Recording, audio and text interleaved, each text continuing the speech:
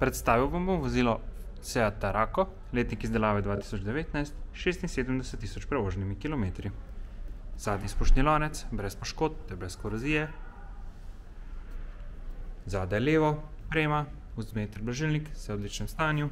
Enako na desni strani, prema, vzmeter blažilnik, vse odlično ohranjeno. Rezervoar za gorivo je brez poškodb. Zaščita podvozja na levi strani, na sredi ter na desni strani, vse odlično ohranjeno. Prav tako ponjava pod motorjem nepoškodovana. Spredaj levo, roka, končniki, manšete ter vzmetenje, vse v odličnem stanju. Enako na desni strani, roka, končniki, manšete ter vzmetenje, vse odlično ohranjeno.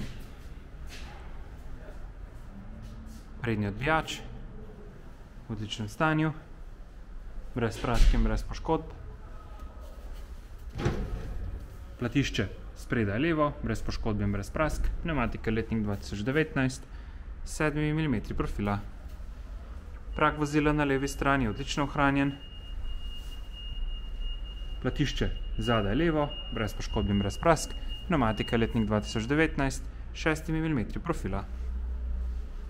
Zadnji odbijač odlično ohranjen, brez prask in brez poškodb. Platišče zadaj desno, brez poškodb in brez prask, pnevmatika letnik dva tisoč devetnajst s šestimi milimetri profila. Prag vozila na desni strani je odlično ohranjen. Platišče spredaj desno, prav tako brez poškodb, pnevmatika letnik dva tisoč devetnajst s sedmimi milimetri profila.